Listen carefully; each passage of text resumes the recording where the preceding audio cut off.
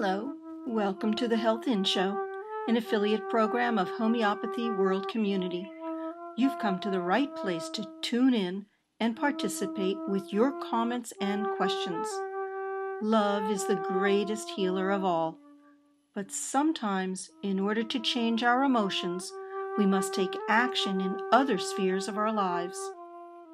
We speak with experts in alternative and complementary health fields and hope you will benefit in some small or great way.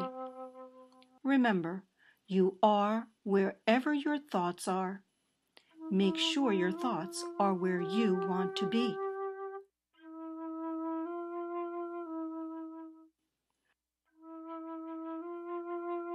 started today, the last day of June, June 30th, 2014 and it made me smile to hear my little voice at the intro that the last word of that sentence was be where you want to be. And that's really, really important. I wonder what kind of subconscious information we can get from that.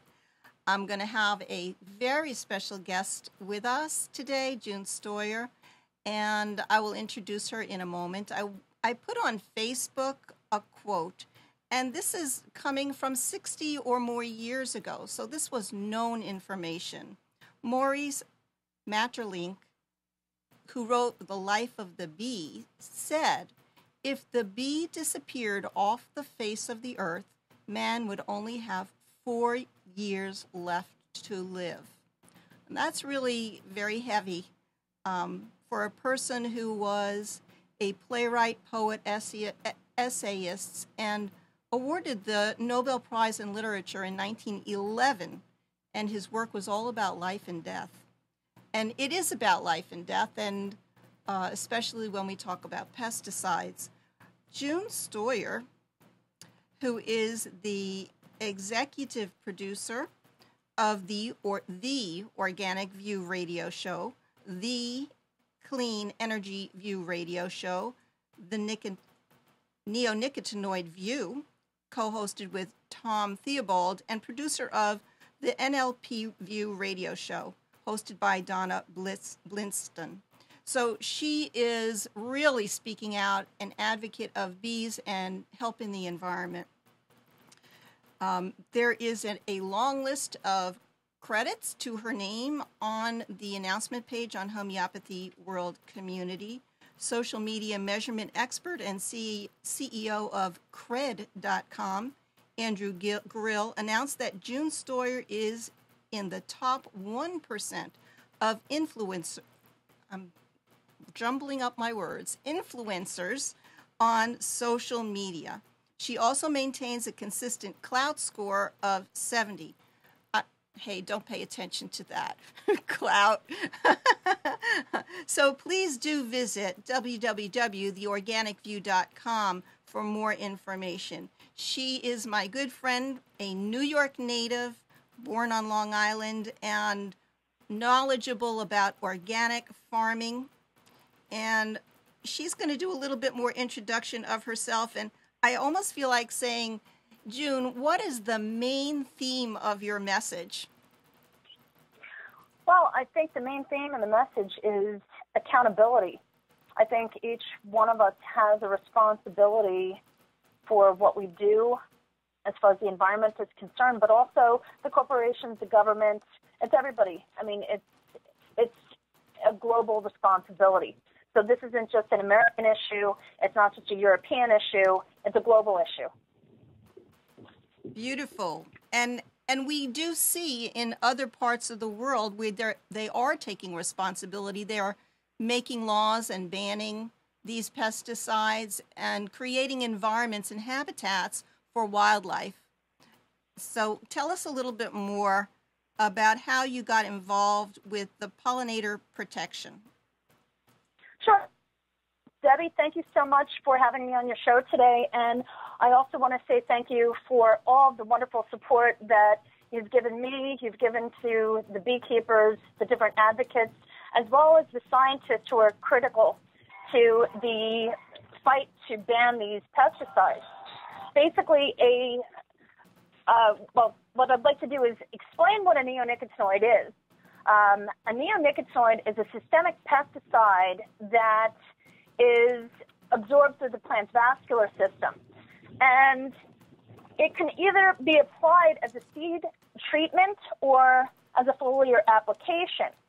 Now, what is interesting is that by design, they are meant to kill insects, point blank. However, with the honeybee, the honeybee is not trying to eat the plant. It's just trying to collect the nectar and the water. And that's where primarily the problem began. Now, back in 2010, a Dutch toxicologist named Dr. Henk Tennekes published a book called A Disaster in the Making. He was initially the whistleblower that started talking about all of this stuff. And then what followed was there's something that's referred to as the infamous leaked memo that beekeeper Tom Theobald, who's become a good friend of mine, uh, basically talked about, uh, or he, he, was discussing this memo, and it was about the registration process for clothianidin, which is a systemic pesticide. And basically, the EPA did not follow its own protocol as far as registration for this chemical.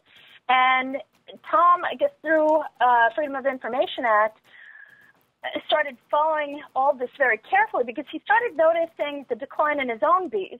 And at this point, he's really become a very strong advocate as far as honeybee protection as well as other pollinator protection. So that's kind of where it started. And at this point, we have uh, worked with a number of different scientists and advocates. Uh, one of my good friends, his name is Walter Haefeker. He's the president of the European Professional Beekeepers Association, as well as the president of the German Beekeepers Association. And he, along with many, many other advocates, have helped pass a partial ban on three neonicotinoids, clothianidin, imidacloprid, and thiamethoxam, that went into effect basically this, this past December. So that was a huge, huge victory. And so at this particular point, you know, that's been that has been put into effect, but we're trying to push through a ban in the United States. So that's kind of where we're at right now. And unfortunately, industry is saying, well, there isn't enough scientific evidence. So that, that that's that's what's holding us. That's what's holding us up. They're saying that we don't have enough evidence. Well, the thing is, is that we do have enough evidence because there there's more than just one scientist. You have, uh, for example, Dr. Dave Goulson, who has been who has not only published research that proves the impact on the bumblebee, which is also uh, a very important pollinator, but you have so many scientists that have done a tremendous amount of research. It's just the bottom line is is that it's a multi-billion dollar industry and they're trying to prolong this for as long as they can. Would they want so to prolong kind of, being able to u- use these um, toxic pesticides? Is that what well, you're saying? The thing is, is yeah, they're basically continuing the, the the sale of these chemicals, but we're starting to see more and more action in America for example, in certain pockets of the United States, towns are becoming more aggressive. They're, the activists and uh, pollinator advocates are asking the retailers, for example, not to sell these chemicals. And people are actually educating their own neighbors and telling them, look, you know, these are gardening products that have the the neonicotinoids in the product, please don't use them. So that's something that's been of tremendous value. So, you know, we've, we've come a long way, but, you know, we still, when we, when we have the ban in effect, then it's really going to make a significant difference. Right. So, do you feel that it's going to be more than the scientists and the beekeepers, but it's going to be up to the general public and there. I don't know actually the number. I, I know i did a show earlier on home gardening and home hob- garden hobbyists and it's one of the top hobbies in america and even today more and more people are trying to start their own little home gardens. Um, you know the the people who want to be getting free of pesticides and GMOs, they're planting organic gardens. And so, do you feel it's going to take the general public to make the difference? Of course. I think the public can make a significant difference. Um, when it comes to doing anything, the power is really with the people. If mm-hmm. the people are passionate enough they can make a change at any given time. It's just that a lot of people still don't understand that these these chemicals are the most toxic chemicals to penetrate the environment. I remember last year on my birthday, and my birthday happens to be in June, June 18th.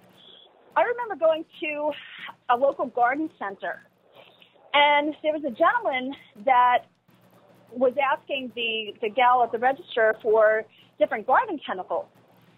And one of the products that he asked for, I don't want to mention the name, but he asked for this particular product, and I said to him, I said, sir, that's really toxic to the bees. And his response to me was, well, you know, I have other things in my yard that the bees can eat. And, you know, that's, that's not. You're, you're talking about you're talking about um, when a woman went to the garden store and wanted some kind of a pesticide like Roundup. Uh, oh, no, not no, Roundup. Roundup, Roundup is, isn't. Roundup is not a systemic. No, okay. he he asked for happened to ask for a particular product that does contain neonicotinoids. Okay. And I said to him, I said, look, um, this is a very toxic product for bees. Now, can you use something else? And right. his response to me was, well, I have a, I have a whole bunch of stuff that the bees can eat. And that was his response to me. And it's it's frustrating because it doesn't matter how much information is out there. Personally, uh-huh. I've always felt that until something becomes personal, people are not going to do as much as they can. And that's unfortunate. I mean, it doesn't matter what the issue is. When it becomes personal, then people will start paying attention and doing whatever it is that they have to do. Whether it's, you know, they, they um, are finding that maybe it's a health issue, or maybe it's an environmental issue, whatever the case may be, when it becomes personal, that's when people typically start taking action. Right. I guess people have not been educated that a fundamental basic concept that I acknowledge is whatever you do to the environment, you're doing to yourself. And, you know, when you do get sick, you're going to start to look for what was it? and then you find you you start to find the trail you start try to trace what was it that caused the illness not only to the environment to the insects to the loss of why are my trees not getting pollinated my fruits not bearing my blooms not bearing fruits i mean these are all things and they're going to look for answers which they've been doing for the last decade or so saying it's the mites or saying it's um, electromagnetic fields and many other reasons. But to actually take action and protect our, our nature and that whatever we are doing to the environment, we're doing to ourselves. And that's my basic premise. Oh, I completely agree, Debbie. When it, it comes to these chemicals, the interesting thing is that the manufacturers that are pumping out these chemicals, the people that, the actual people that are producing them, that are, that are operating the machines, whatever, they are not absolved. These chemicals will affect their own families. Nobody has any type of uh, escape card, if you will. Right one particular chemical, clothianidin, for example, I think the half life is 19 years. It's 19 years that the stuff stays in the soil. And furthermore, it's, the, the sublethal effects are quite serious. It's mobile in groundwater, and according to Dr. Tennekes, there was a, a paper that he published in regards to dose time ratio, which proved that over uh, it didn't really matter what the time frame was, but once you reached that dosage, death was guaranteed. And if any of the listeners are interested in that particular interview, um, I do believe uh, if they do a search on the Organic View, it should come up. But um, it's also, I, I do believe there's a video on YouTube about it. But that was a very, very interesting interview that I did with Dr. Tennekes. And industry has not debated much was brought any attention to that particular research. And I also want to mention, Debbie, that in regards to Varroa, which that's all we hear is Varroa, Varroa, Varroa. Right. In Australia, there has been no documentation of Varroa being evident in Australia. And they are sustaining the same type of bee die offs that we have here in America. Just recently, or actually, let me take a step back. Earlier this year, the biggest crop to be pollinated was the California almond crop. During that pollination period, there were, and this the totals have not come in, but uh, this was uh, due to tank mixing um, and just the use of different pesticides while the bees were out there, which is kind of baffling. But they sustained losses of 475,000 colonies, not just bees, but colonies. So that was huge and unfortunately never made mainstream media. It was information that was disseminated throughout the beekeeping community, activist groups such as yours, but you know, didn't make the front page of the Daily News or anything. It, and the thing is, is that this is a threat to our food security. So, are you saying are you saying that the California almond farmers brought in their annual um, pollinators, the beekeepers, to come in with their bees mm-hmm. and pollinate their flowers so that we could enjoy our delicious almonds. And during that time, those beekeepers lost 475,000 bee colonies by yes. the toxins yes. that were in the fields of the or, uh, of the yes, orchid they, farmers? I did a very interesting interview with Bill Rhodes, who's a commercial beekeeper out of Florida. He, from what I understand, is the largest producer in the state of Florida of honey. And I also interviewed another fellow named Jeff Anderson, who's a very well known commercial beekeeper. Now, um, from what I understand from what they discussed or what they explained was when they're mixing these different chemicals, basically the whole label is, well, the expression goes, the label is the law. So when they're following the directions, basically they follow the directions accordingly and everything's supposed to be fine. However, it's a little ambiguous and if you have an opportunity or if the listeners would like to listen to that interview, it is available along with a companion article on theorganicview.com. But it's very, very interesting to listen to what these folks are talking about. And the bottom line is it was unnecessary. They they should not be applying any type of pesticide while the bees are out foraging. Now, there's certain times, you know, uh, either in the evening or um, if they could at least give the beekeepers notice, that would help tremendously, but that was not the case. Now, what happened in Australia was pretty much the same thing. Australia sustained losses about uh, of the same magnitude, and once again, it did not make mainstream media. So this is a problem. These are these are disasters that should be the number one concern of everyone out there and the public. At the end of the day, Debbie, you can grow your own food, I can grow my own food, but a large portion of the population cannot.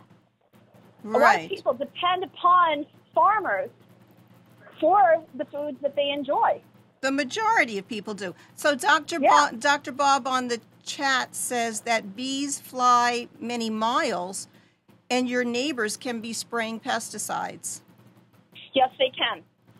Yes, they can. And the thing is, is that with the systemic pesticides, because they're mobile in groundwater, you know, the, the bees might go to a puddle, a little tiny puddle, to get some water. So that that pesticide might travel through the ground and wind up in that puddle, and that's another way that they can come into contact with these pesticides. Right. You know, so, the, so, so, so not, we have to just, educate everyone, and and they're not yeah. obviously the point you're making is they're not getting educated if the mainstream media is not broadcasting these news messages. I mean, you know, um, Smokey the Bear used to be on the public broadcasting um, announcements and say, you what did he say? Forest fire. You can stop forest fires. Something like that. And and we don't have anything that's telling people it's up to you to save the bees and and have a little um, logo or mascot that's a honeybee that's saying it's up to you to protect them from neonicotinoids.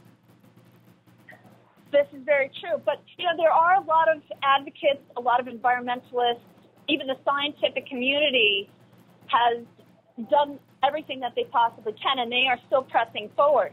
For example, just recently there was a task force uh, that was put together by a group of scientists that were talking about the impact in very explicit detail how these pesticides not only affect honeybees, but butterflies and other pollinators. It's just that with the honeybees, honeybees are a big focus for this whole topic, primarily because they are the honeybees are are critical to agriculture. So that's why there is so much attention, not to mention the fact that the beekeepers are the first ones that are going to see any type of devastation with their hives. So if they start seeing ma- massive bee die off, of course mm-hmm. they're going to start talking about that. And back in the beginning, it was quite interesting.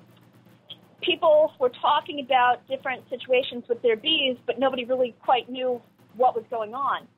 And the thing is, is that all of the different symptoms that the bees experience are all caused by a weakened immune system. And that's basically what these systemic pesticides do. They weaken their immune system. Right. And I, I wanted to get into that a little bit. Um, I put up another little note on Facebook yesterday about um, homeopathically and I'm going to look that up for us. It's going to take a, a second. Um, sure. I wrote nicotinum, which I assume is the basic element or compound structure of the neonicotinoids, covers similar symptoms as tobacco, which is tobacco.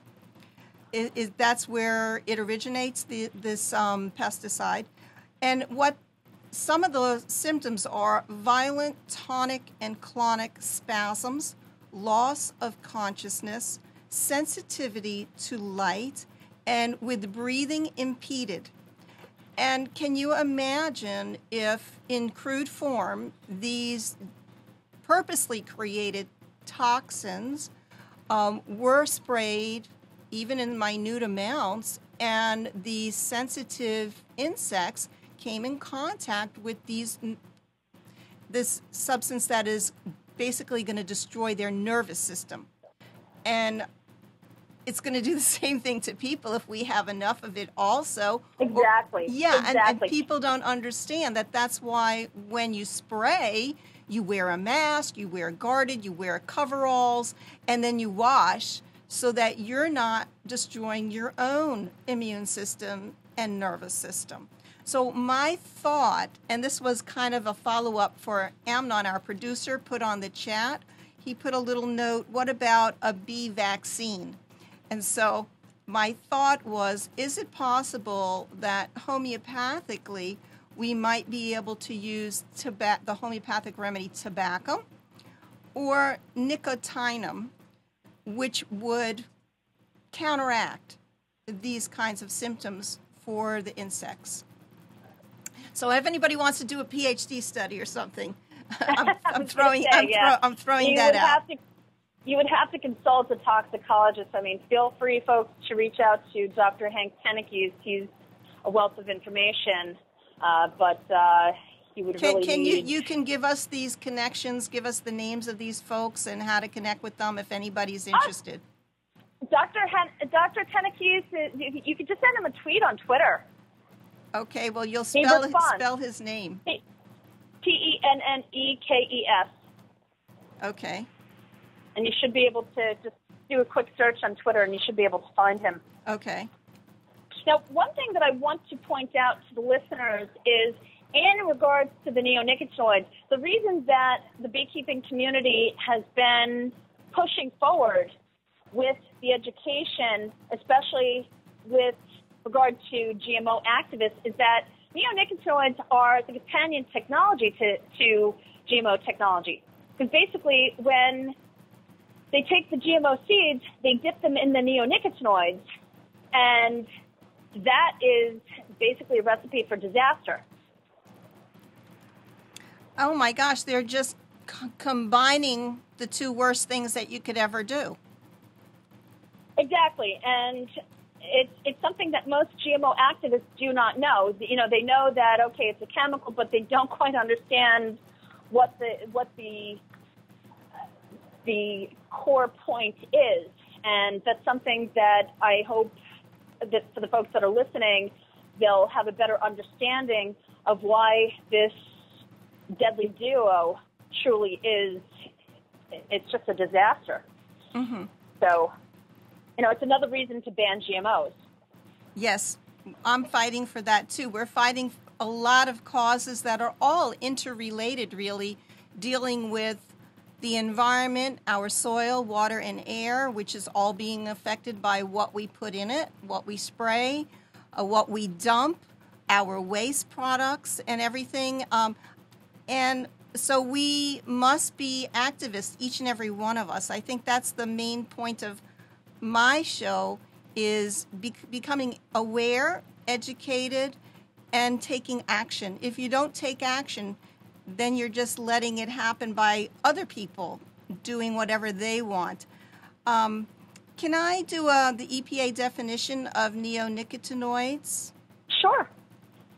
The neonicotinoids are a class of insecticides with a common mode of action that affects the central nervous system of insects, causing paralysis and death. All of the neonicotinoids were registered after 1984 and were not subject to re registration.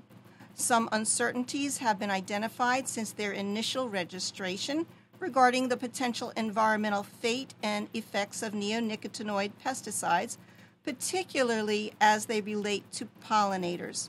Data suggests that neonicotinic residues can accumulate in pollen and nectar of treated plants and may represent a potential exposure to pollinators. Adverse effects data as well as bee kill incidents have been reported, highlighting the potential direct and indirect effects of the neonicotinic, pesticides. And so we're talking about ecological risk assessment, during registration review. Will the EPA or other agencies be making ongoing reviews and taking action? I wish they would. That's the whole purpose of the EPA to protect the environment, to protect people, to protect everyone that is part of the environment. And that's their job. It's up as though we're, they're doing us a favor. This is what they were created to do, and they're not. The fact is, when you are not following your own guidelines and you're passing through emergency registration for a chemical that has not been proven to be safe, once you let the genie out of the bottle, you can't exactly get it back in. That's why, well, I think that it's great that the White House is saying that they're going to do this and that and the other thing. Okay, last term, four GMO crops were deregulated. Four. You know, mm-hmm. what about the bees? So to me, I'm at a point where I don't care what somebody's political affiliation is. When their words and actions meet, that's what makes a difference to me. And so far, not one politician has really come forward and fought for the bees. I've yet to see it. Can can Yeah, you? them- can- I'm sorry. Can you um, respond to the latest message out in the news about six days ago? Obama announces plan to save honeybees. Did you read about that? Yes, I did. And, And- once again, when when you let the genie out of the bottle, how do you put it back in? Four GMO crops the last term. it just doesn't make any sense. You know, the number one the number one concern should be the environment. He's got girls. No, it's it's not like he is absolved from any of this, and it just doesn't make any sense. And so now what exactly are they going to do? You know, I think it's great, but I just wonder if it's another situation where it's all smoke and mirrors. To me, I want to see what they're doing. I don't want to hear about it. I don't want to hear plans about it. I want to see in action. I want to see the EPA do something. I want to see the EPA actually do its job. That is what we need. You know, we're not asking for anything other than for the agencies that are responsible for doing certain things to actually do what they're supposed to do. That's it. It's not asking for really much of anything. Right. I, I'm with you all the way. I think, as I said earlier, we can learn about information, about what's going on around us, but unless we take action, nothing's going to change. And in the CNN article, the last paragraph says Obama's budget for the next year recommends $50 million for multiple agencies to help boost research increase the number of acres dedicated to pollinators conservation programs, and boost funding for research on pollinator losses. And to me, personally, I feel like we've got the information out there already, and it's also only a recommendation. It doesn't mean that they have um, given the funding of $50 million. Um, I think there, he's giving 500 million to war. I think that that needs to be given to peaceful efforts. But um, I agree. Yeah, but I, I think you know, talking continually. I mean, he's talking. Let's find out more information. Let's put more research into it. Number one, who's doing the research? Is it going to be funding more of these um, pesticide industries? Is it going to be funding the beekeepers who know their bees the best? Who is going to get this money and who has the real inner wisdom and knowledge to solve this problem, which we already seem to have if we would get rid of the toxins in our environment? But respond to me. Exactly. Exactly. And actually, Debbie, that's why I created the neonicotinoid view, which is a special series which focuses on the impact of neonicotinoids. That was the whole purpose. It wasn't because I had any desire to keep producing all these different shows and everything. Uh, it's been a tremendous journey with the organic view, producing different shows. I've done thousands of interviews. I've worked with some of the world's most renowned scientists. And I figured, okay, well, we're not getting anywhere. So they keep saying that there's not enough science. So I bugged Tom Theobald, I think, for about three months, and then finally he agreed. And I thought that it was important because he is a commercial beekeeper. He is someone who is well respected in the beekeeping community. And I figured, well, if you have someone such as myself that is, is asking questions, working with the scientists, and then you have someone like Tom who's an actual beekeeper, a commercial beekeeper. I mean, it's one thing to be a hobbyist. I'm a hobbyist beekeeper, but when you're a commercial beekeeper and you are responsible for so many bees, that's a huge responsibility. It requires a huge amount of knowledge, and it's it's not something that you can just read a book and learn overnight. He's been doing this for 30 years, and I have a lot of respect for him. So when we talked about doing this, we said, you know something, let's focus on the science. They keep saying that there's not enough science, and this is two years later. They're still saying that there isn't enough science. But yet, if you look at somebody like Dr. Randolf Menzel in Germany, he's a world renowned expert on the honeybee brain. they do not dispute his research. And even Dr. Dave Goulson, who's somebody that I've interviewed a number of times, and I admire him tremendously, he actually has a wonderful book out that talks about his own journey into the world of bumblebees, which is called The Sting and the Tale. So if you really love bees, he's actually, he started out off as a butterfly guide, believe it or not, uh, which is interesting because I got involved with this whole, this whole journey basically because of my work with butterflies. I was on the county's butterfly garden committee, and I learned about tagging monarchs, collecting the eggs, growing milkweed, so on and so forth. And I was collecting data, and I noticed that there was a decline in the monarchs. So I started asking questions, and I wasn't getting anywhere. It was very frustrating. And when I watched the show, I figured, well, you know something, I have the show let me start talking to people who have similar interests and maybe I can find out some information about what's going on. And then I became friends with a gentleman named Phil Chandler. He hosts a radio show in the UK and he is an amazing person to learn from. He is an expert on top bar hives and he hosts a radio show called The Barefoot Beekeeper. And Phil and I became fast friends and I learned a lot from Phil, but Phil was also instrumental in just sharing information, and that's what I really love. I really love working with people who are not about their ego, but they're about the cause. They want the information to get out there, and that's what I love about you, Debbie. You are on top of so many different things. You are such an amazing person. You support so many people, and you've been doing this for such a long time, and you really love what you do, and that definitely comes through especially if you have one conversation or just even a quick chat on Twitter or something like that, you can see that you're really devoted for the right reasons. And the same thing with Phil Chandler. Phil Chandler is just a wonderful, wonderful beekeeper, and I've learned so much from him. And I remember Phil had, uh, he, he mentioned um, Dr. Tennekes and his book, A Disaster in the Making. And when I read the book, I was mortified. But in the same token, I also realized, okay, I knew that there was something. I didn't know what it was. I didn't know if it was something in the water, something in the soil, something in the air. I couldn't put my finger on it because I didn't have the information. And Dr. Tennekes' research proved exactly what was causing the global decline of not just the honeybees, but pollinators across the board. And there's a lot of research that's actually coming out of Canada and other parts of the world that's showing the impact on frogs, on birds, and we're still waiting to see what the health, human health impact studies are. As far as I know, there aren't any at this point, but it doesn't mean that the research is not going on as we speak.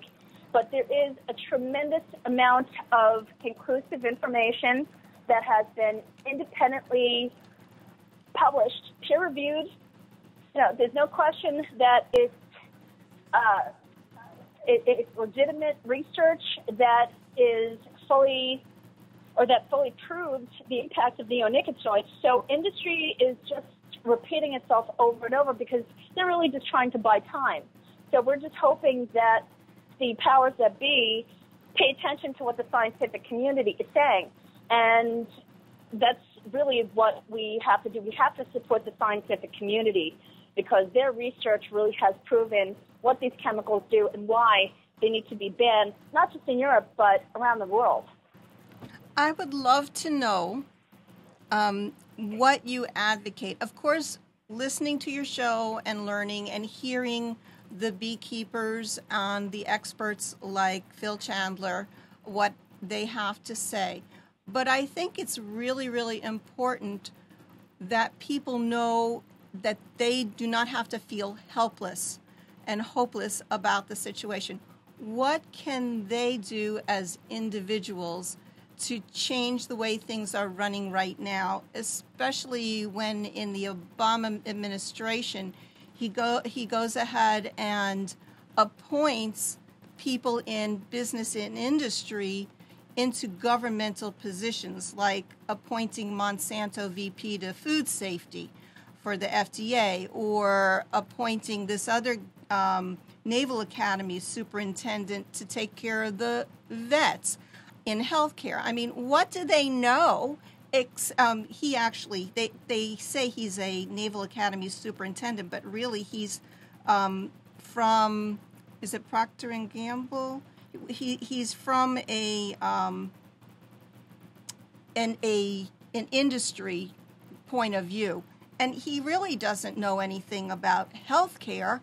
And so I'd love to know what action items people can do so they do not feel completely helpless in a situation where um, main the main power at the top, which is our government, is sidestepping, hiding, or taking action to protect big industry. That's an excellent question, and I'm glad that you brought this up because there are a lot of people who are talking about different recommendations, and I don't necessarily agree with some of the recommendations that are out there on some of these websites and blogs and so on and so forth. But having said that, where I feel it should begin is in your home environment. If you have children, explain to the children the importance of bees. Most people do not know the difference between a honeybee and a wasp. They think that uh, the honeybee is like a yellow jacket and it's going to come and sting them, this and that. The honeybee doesn't sting unless the hive is threatened or if its own life is threatened. And that's when they will sting. But the thing is, is that they'll die after they sting. So that's something that people should know. Number two, wasps do eat other insects. Honeybees do not. So that's that's another significant difference. So understanding a little bit about honeybees really does help, but just bees in general. Same thing with bumblebees. Bumblebees, if you go onto the organic view, I have a lot of pictures of bumblebees and all sorts of bees, mason bees, honeybees, butterflies. I've got some ants there. I've got all sorts of stuff. And it's, it's interesting when you observe them. They, they're not looking to bother people. They just want to do their thing and go about their business. They are not there to antagonize us or interfere with our lives. So I think just educating yourself, educating pe- uh, I guess young people about the importance and what their purpose are is a good place to start. Number two, when it comes to the products that you buy for your home environment, for example, I did an amazing interview with Dr. Thomas Seeley up at Cornell University, who also wrote the book Honeybee Democracy, and he talks about the, just how honeybees work together. They're quite fascinating, but the interview was actually focused on swarms. A swarm is basically the future of a hive. And unfortunately, when people have a swarm, whether it's it's in a part of their house or in their yard, the first thing that they do is they go to the store and they get some type of chemical and they try to kill it, or they will call an exterminator. What they should actually do is contact their local beekeeping club, or you can contact the local cooperative extension in your county and find out if there are any beekeepers that will come and remove them. Most beekeepers will remove them without a charge. Mm-hmm. So that's something that's very important. Another thing is to pay attention to what you're putting on your property, whether it's Say that. a garden chemical that you're using to kill dandelions, which are actually one of the first sources of food for bees. And dandelions, and I'm sure you've talked about dandelions a million times on your show, Debbie, but dandelions are, if you have dandelions, you don't like them, just pull them out. It takes it takes a few seconds to just pull them out. I'm pot. I'm po- eh, June. I'm potting my dandelions. good.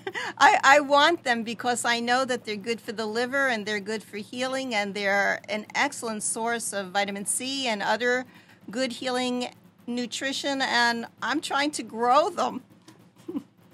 I actually did a lovely lecture in the New York area uh, in the horticultural societies about dandelions, and I remember doing it for the Long Island Hort Society, and I got a standing ovation. I don't think they were quite expecting what I brought to the table. I figured they they probably figured that I was going to go off on how you must have everything organic, this and that, and it was quite entertaining, if I do say so myself. But I help people to understand that dandelions play their part just like every other plant that's out in the environment, and also help people to reconnect with the fact that they are a very valuable plant, not only to bees but to us. So, um, you know, folks, if you see a dandelion, just pull it out. And if it's if it's something that you care to experience, the dandelion greens are great in a salad. You can actually take the dandelion heads. What I recommend doing is putting them in a salad spinner to just triple, I guess, triple wash them, and then put them in the salad spinner to dry them. And then you could basically use pancake mix or whatever you want to just create some sort of batter and lightly fry them and almost make like a dandelion fritter, and they're just absolutely delicious. But just keep in mind one thing: they will they will have they will make you visit the uh, bathroom a little often because it does have that type of effect. But dandelions really are delicious, and it's good that you're growing them. I know a lot of people in different parts of the country they can't get organic dandelions, and they're paying. I remember one email that I received, a guy was saying that he pays fifteen ninety nine for a bunch of dandelions, and I'm thinking to myself, my goodness, yes, I'll just send you some seeds, grow it yourself, you know. But uh, getting back to what I was saying, the home environment is very important. Unfortunately, when it comes to many of the plants, trees, and shrubs that are sold in the United States, it's not mandated that they're labeled whether or not they're treated with the systemic pesticides. When I found out about that several years ago, I was horrified. I was one of those gardeners that enjoyed getting my hands into the soil, just connecting with nature and enjoying the whole gardening experience. I mean, when you're gardening, you want to be out in the dirt. You don't want to be out there, you know, uh, avoiding getting dirty at all possible expenses. You want to be in the dirt. You want to feel those plants. You want to smell that soil. And when I discovered that this was the case, all I thought to myself was, wow, all the work that I've done at so many different public gardens without gloves, all the children that I've worked with where they were touching the soil, how many people have been exposed to these pesticides and had no idea? So that'll right. be quite interesting as things unfold. But the bottom line is, is that if you're going to bring new plants into your home environment, buy them organically or try to find a nursery that will ensure that they are grown organically or even grow them yourself. If it's different plant, uh, different plants or flowers, see if you can order the seeds online and start them yourself. So that's a very important thing to remember. Also, when it comes to bees in general, one of the things that I tell people don't take up beekeeping unless you can make that type of commitment. It's a huge commitment. And financially, it's not cheap to be a hobbyist beekeeper. Some people think that, oh, well, I'll become a beekeeper. Well, it's a big responsibility. It's like adopting a dog. And I often say, well, if you can handle a dog, you can handle bees. And some people are concerned, oh, am I going to get stung? It's kind of like if you do a lot of cooking in your kitchen. I've taught I taught culinary arts years ago, and I have a couple of scars. I've cut myself from time to time, not often, but that's kind of the same thing. If you do decide to pick up beekeeping, you will get stung, but it's not going to be something where you're going to get stung every minute of the day. However, when you decide to make that commitment, the first thing that you should do is take a class in beekeeping, read as much as you can about bee biology, and just constantly learn from other beekeepers, especially try to develop a relationship with somebody who's been a beekeeper for a long time because the information that you learn is just priceless. But once again, I just want to stress that becoming a hobbyist beekeeper is something that is a huge commit- commitment. You can't just say one day, yeah, I want to become a beekeeper and I'm going to get bees and think of them as accessories to make your garden look great. No, it doesn't work that way. It's, you're talking about the lives of a hive. And these are beings that can feel love. They can also experience uh, or demonstrate anger. So, you know, you want to keep that in mind. And it's interesting. I just want to bring this up really quickly. These were actually used many years ago to to predict the weather because they are so sensitive to the Earth's vibrations. So that's quite fascinating once you start learning how complex they are. They're not just some bug. You know, they're very complex beings. Lastly, what I would recommend that you do is just constantly educate yourself. Connect with people that have a vast amount of knowledge, especially with some of the scientific groups, especially this new task force. These folks have nothing to gain. They're not getting paid for any of this. They're taking the time to do what they feel is the right thing to do as far as getting these pesticides banned. And what's interesting is, is that there's a lot of talk about, oh, well, there are other pesticides that are even more toxic. And that's just really spreading fear. At the end of the day, we need to focus on the task at hand, and that is to get these pesticides banned. There's the only the only groups that are benefiting from these pesticides being sold truly are the chemical companies. I mean, it's been proven time and time again that organic farming really is the best for agriculture. We have a question in the chat. Dr. Bob says uh, rotenone, neem oil, marigold, pyrethrins, pyrethrins.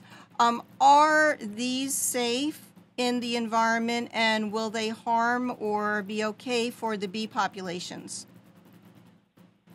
Um, neem oil they... and things. You know what I'm talking about? No, no, I know what neem oil is. As far as the interactions with the bees, um, he, I would have to consult an entomologist before I gave any type of advice because it would it would you'd have to know how much the dosage is, so on and so forth. It's not right. just a simple cut and dry answer. Yeah, the, the organic farmers are using these kinds of pesticides. They they call them pesticides, but they are concentrates from marigold and other mm-hmm. plants. No, I understand. Right. I okay, so we're going to have to do a little research on that. Yeah.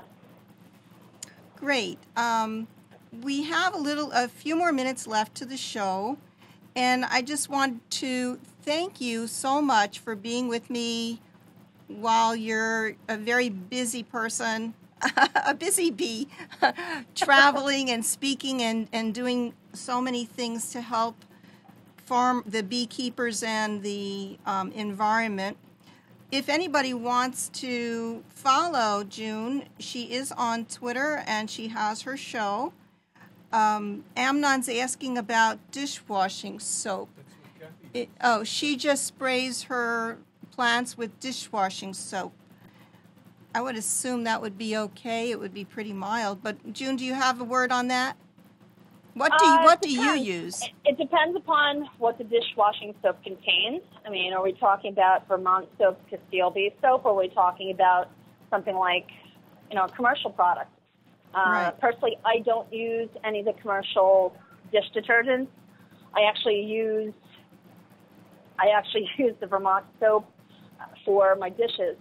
Um, there's an old remedy where you take chewing tobacco, you soak it, kind of make a tea, and then I, I don't know what the proportions are, but you take the tea, you take the dish detergent and mouthwash, and then you add that to a gallon of water and you spray that on your vegetables. It's supposed to kill the aphids and whatnot. Honestly, the aphids, if you want to get rid of them, you can just take a spray, the spray nozzle on your hose and just spray your tomatoes and whatnot, and it'll knock them right off the plants. But uh, it depends upon what you're looking to do. Once again, um, as far as as far as any application, the bees are out foraging during the daytime. If you're going to do something, do it when the bees are not out foraging.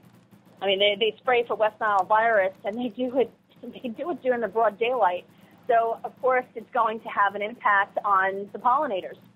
But uh, you know, that's that's one of that's probably the best recommendation that I can make is if you're going to do anything, don't do it during the daytime when the bees are out foraging.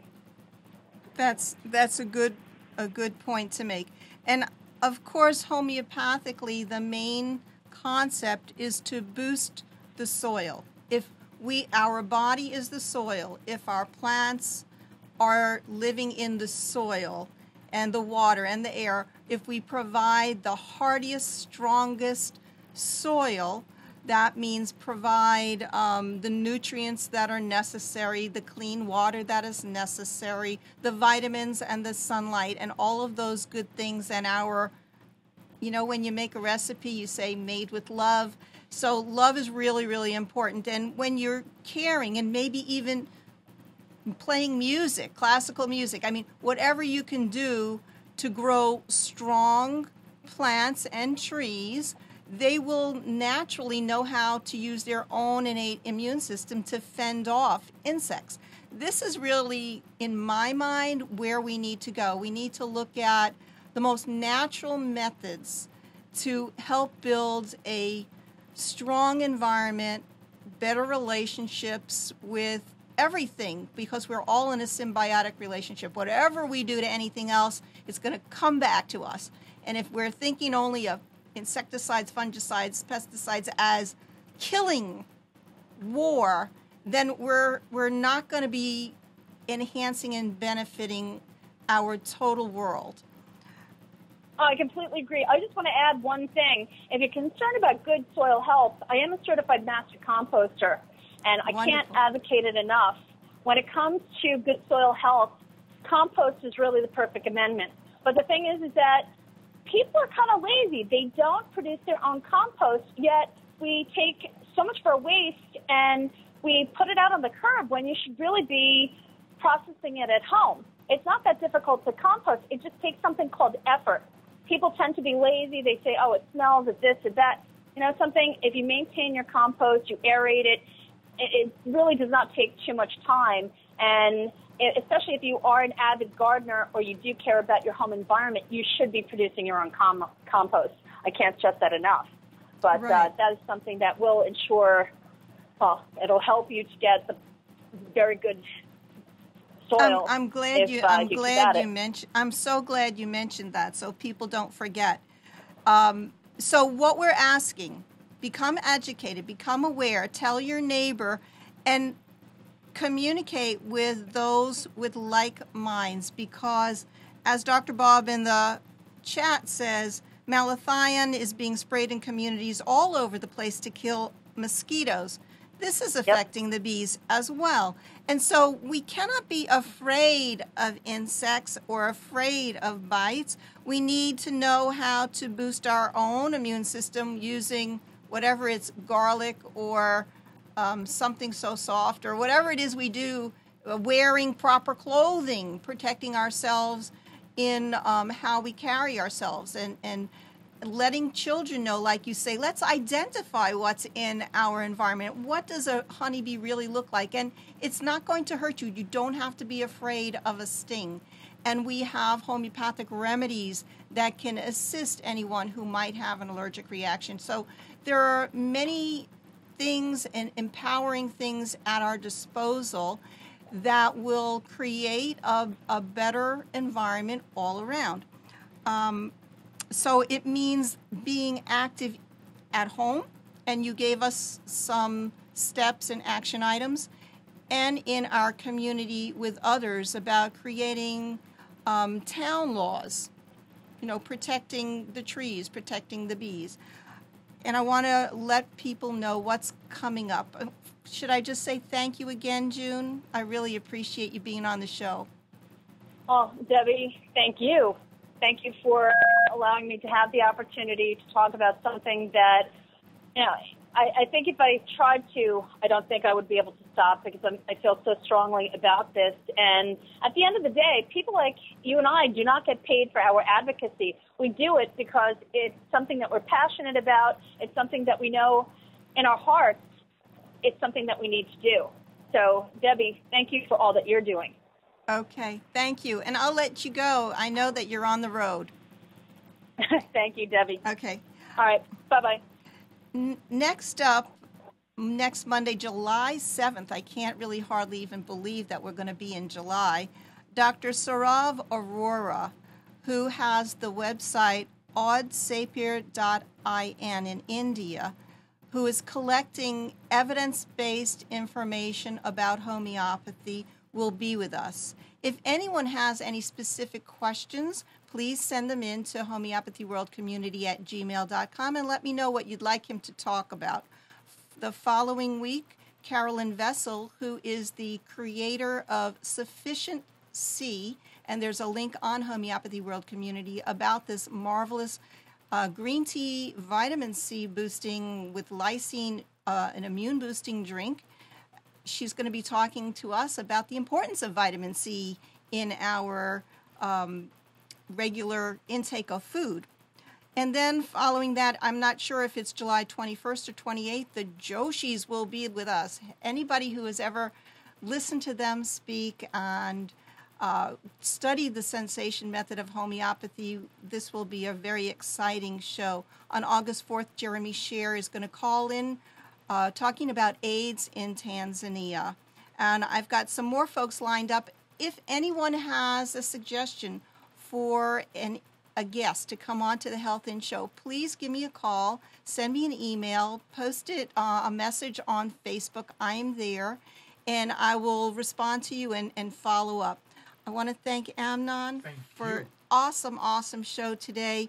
Really, let's save the bees together and protect our environment and our own health and our children's health and the future of food because 90% of food is pollinated by the bees um, of our fruits and, and berries and things. So, and I want to thank all those who are in the chat Kathy, Dr. Kubushan, Dr. Wakar, Dr. Bob, Gabrielle Silman, Michelle, Yvonne, and Yvonne, and anybody else who's popped in and out.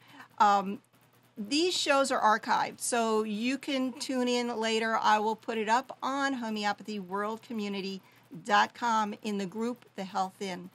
So thank you and many, many blessings for good health and lots of love to everyone. Bye bye.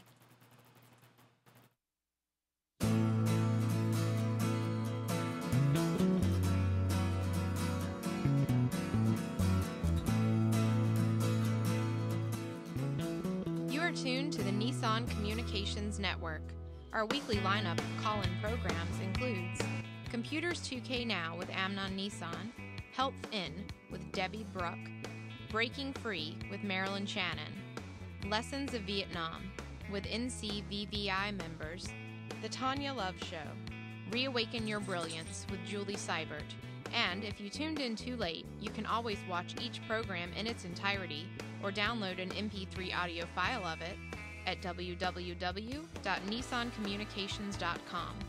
Sponsored by Atomos.com, makers of quality video recorders and converters for professionals. That vidblasterguy.com, CarolinaApparel.com, and DeltaForce.net.